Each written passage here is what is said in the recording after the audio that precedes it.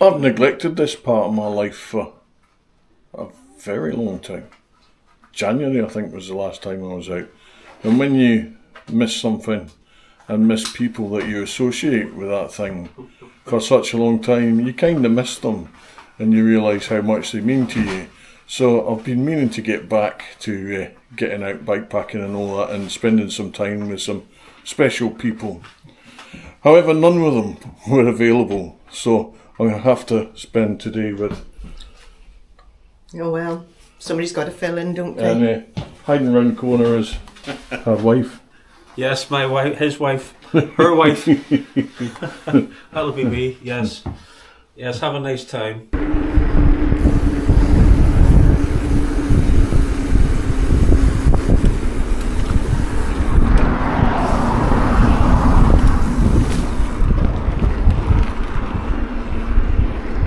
Where are we?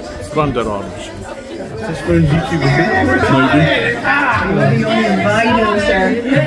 That's son number two. Handsome boy. Right, but I'm, I'm the best son anyway, so it doesn't matter. Ricky Bobby, number one. Nadine, say hi to YouTube.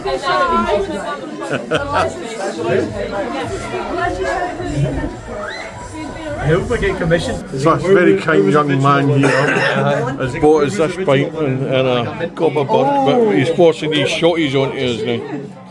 Yeah, They're really good though. Get done, yeah? Are we doing a wee toast, eh?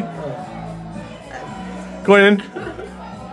What, what are you calling? What? What are you calling? What's the toast? Uh, Solange, aye. Slanger. Oh, they're good, eh? Oh, That's nice, isn't it? what yum. In 1983, I joined the RAF with this boy's dad. And, and this boy here, young Michael O'Donnell, is now going to show us how to put away one of these shots. Get done, you? For a little a short story.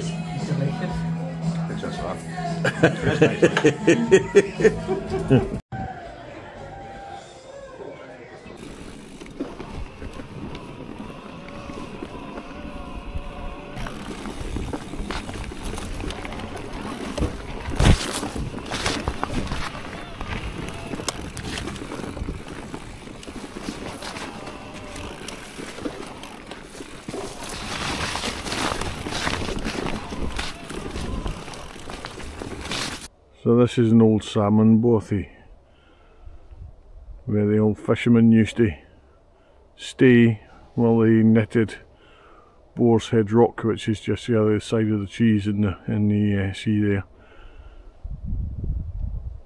Been derelict for many years but they fenced it off now. Are you going in?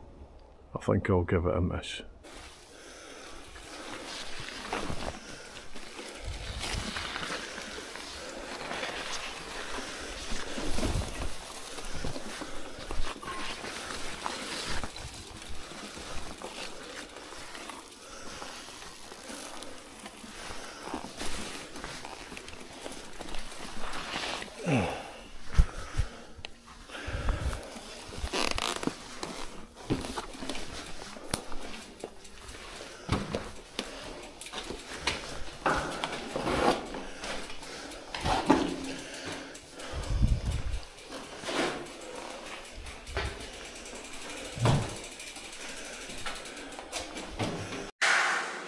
By some weird coincidence of people that camp together all the time using the same gear. We're both on Big Agnes Copper Spurs tonight. UL1. Rob's in there. What matter do they? I've got a new mat. I've got a new man. Yeah, I've got a new mat to test tonight. That is the uh, light tour. If you watch YouTube, you'll have seen these all over the shop. It's a silver thing with an R value of about five or something. A uh, Thermarest cheap replacement, supposedly. Uh, I'm going to give it a wee go. Yeah, I watch YouTube and I fell for it. I bought one.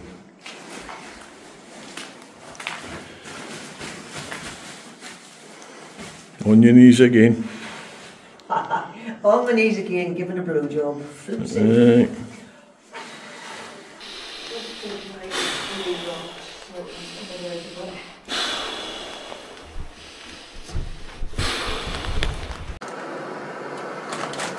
Okay, Rob's cooking some pasta. We've actually got some auroras going on at the moment, so I've set up time lapse. Hopefully catch some of them.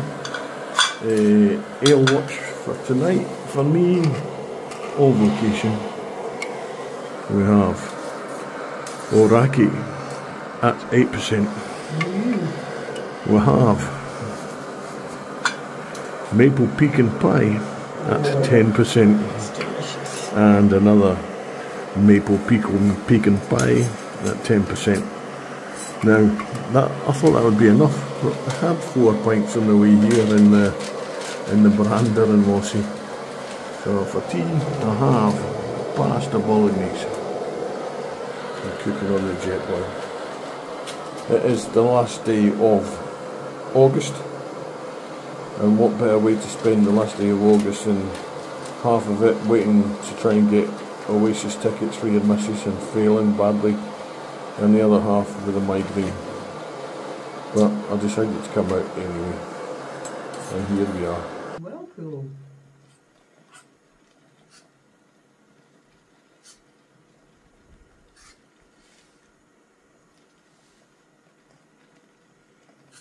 Chances are, if you've ever watched any of my wild camping videos before, you know that I am an advocate for power to weight ratio when it comes to beer. If you're going to carry it in, you might as well make it worth it.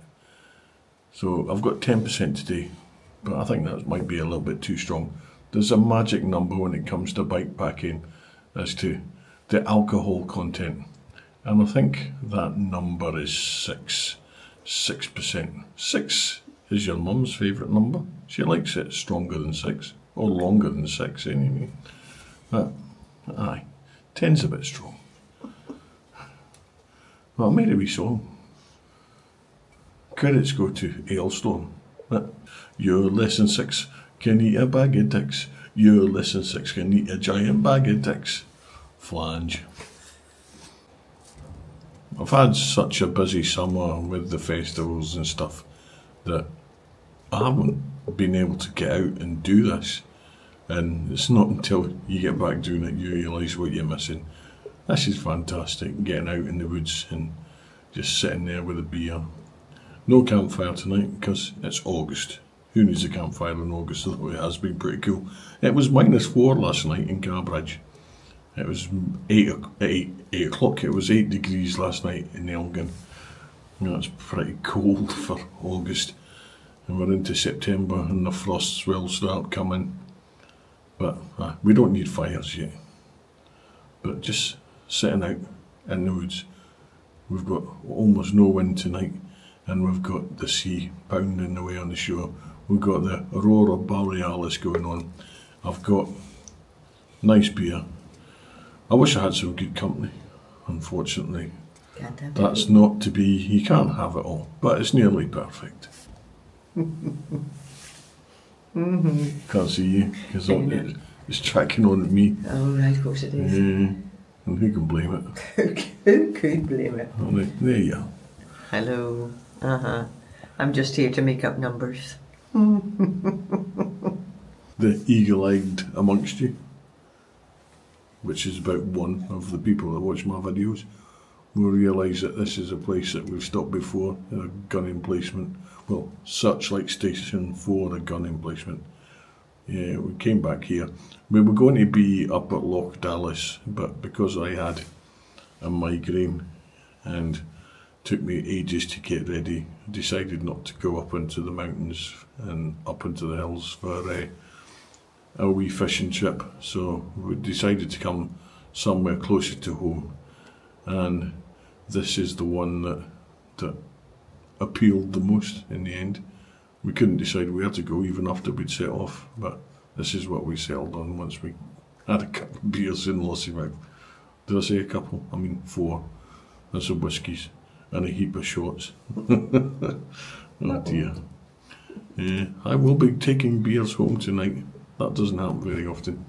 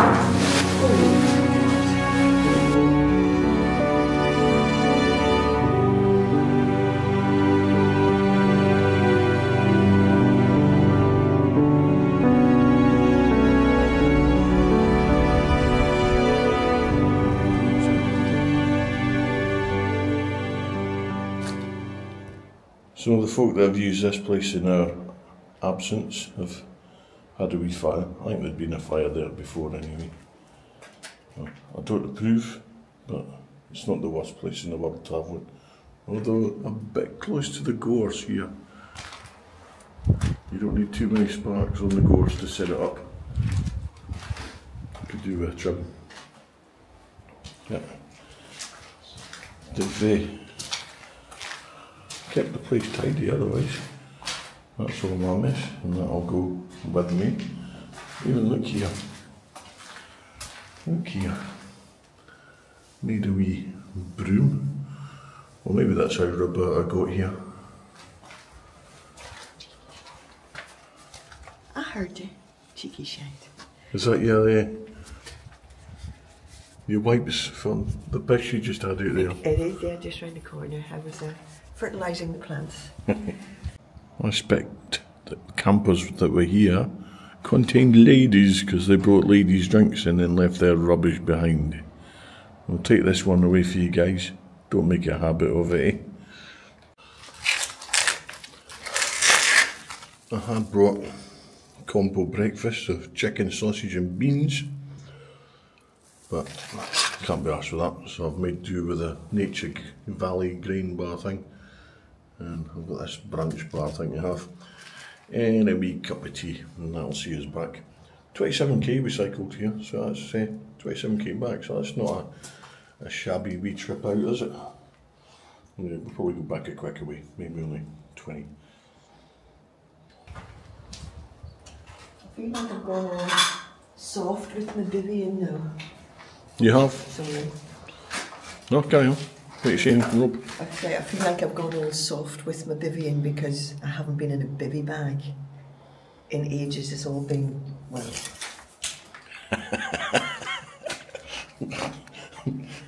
You've no choice not even a big wet coffee stain on the floor But yeah. But we've been intense every time the last six, seven times, and Been really been in- intense. well, it's been really intense, and really we ought to go out in a bivy bag some stage. Have you on next one then? Yeah. Okay. We're allowed to take a tarp as well. Yes. Oh, that's allowed. Okay. Definitely. I haven't used my tarp, so yes, Vivian tarp. Okay. Hi, genetic YouTube outdoorsman here. I want to show you what a lovely place I'm in. Look at it. Look how beautiful that is. Here's me in the beautiful surroundings. Look. Look at those beautiful surroundings. Aren't they beautiful? Here's me on the beautiful Moray coast. Look at it. It's astounding. It's an amazing scenery. And this is where we camped last night. It's really nice. Look. I've got two beers to take home. I will be having words with myself for not completing my mission.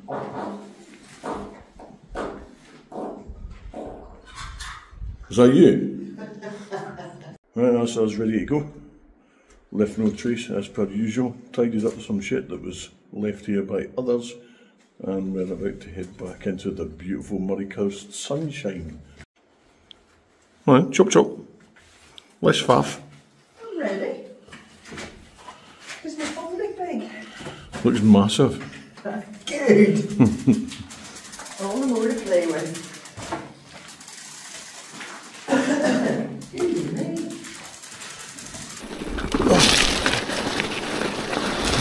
What have we got here? here?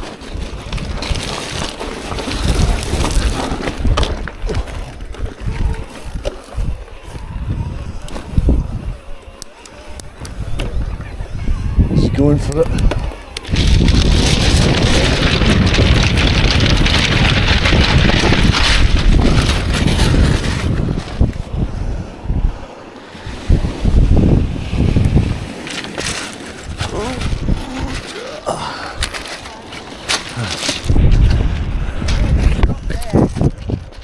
Sorry, I, I failed here.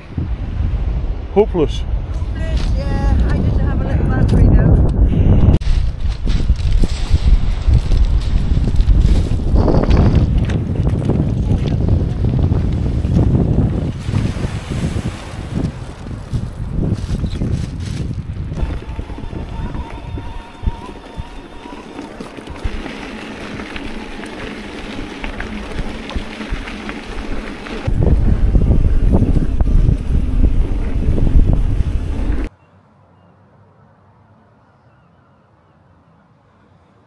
That handsome boy.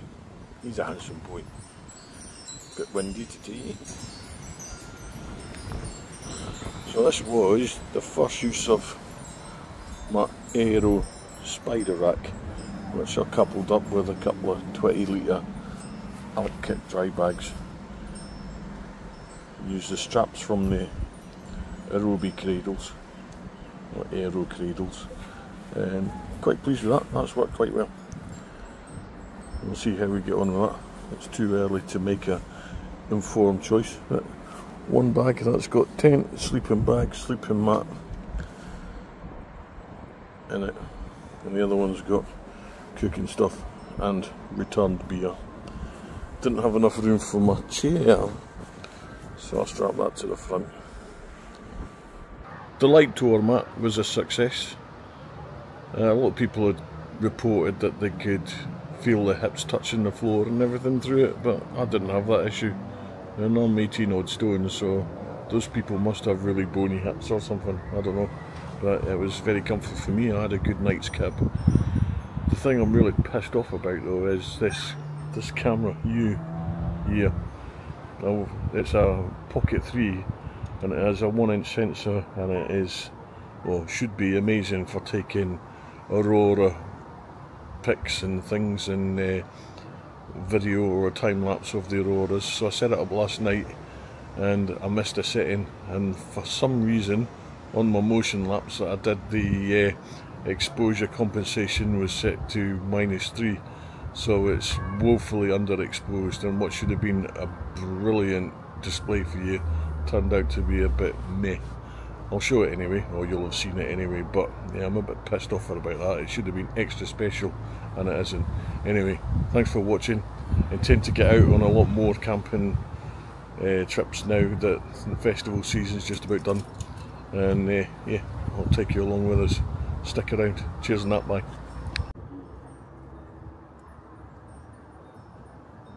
Here's me by a sunflower saying goodbye. What's the matter with you? it's only natural. Yeah, but it smells like something has crawled up and died. well, stranger things have happened.